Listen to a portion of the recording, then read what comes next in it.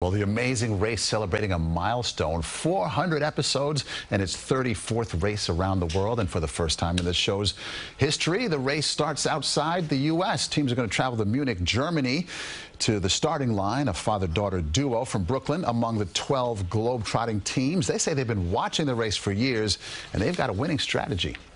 We immigrated to this country in 2001. This race was essentially a way for us to see the world. We so. traveled vicariously through the people on the race. Right, absolutely. We watched it together. We grew up on it. The strategies that we're going to bring going into this race, A, really good communication, B, balance.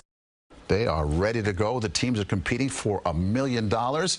Season premiere Wednesday, September 21st, right here on CBS.